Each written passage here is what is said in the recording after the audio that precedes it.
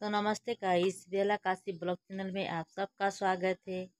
मेरा रेसिपी रसगुल्ला बनाना है, बहुत ही आसान, बहुत इजी तो आप लोग बना सकते हो, क्योंकि हम लोग ही बहुत इजी है।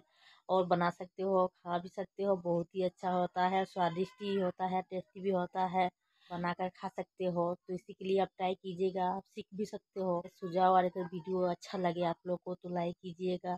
शेयर कीजिएगा, कमेंट कीजिएगा और प्लीज़ मेरे चैनल को सब्सक्राइब कीजिएगा।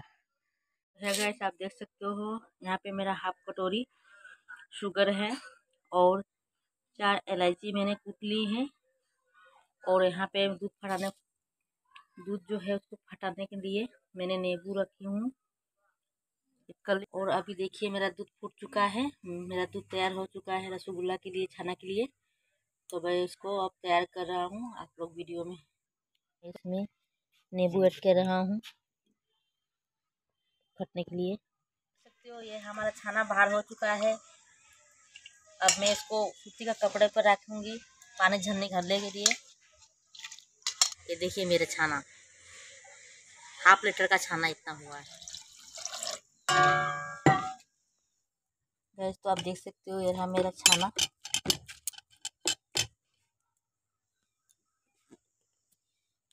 तो मैं इसको हिंदा बन रहा है। यार हो। चुका इसे डालेंगे। तो गैस देख सकते हो जो मेरा सिरवा है पूरा बन चुका है।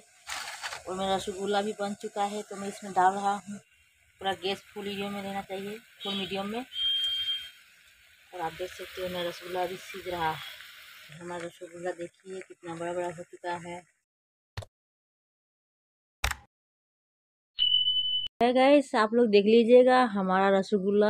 तो हमारा रसगुल्ला आप लोग कैसा लगा है? अगर अच्छा लगा तो प्लीज़ कमेंट कीजिएगा और शेयर कीजिएगा और मेरे चैनल का सब्सक्राइब कीजिएगा।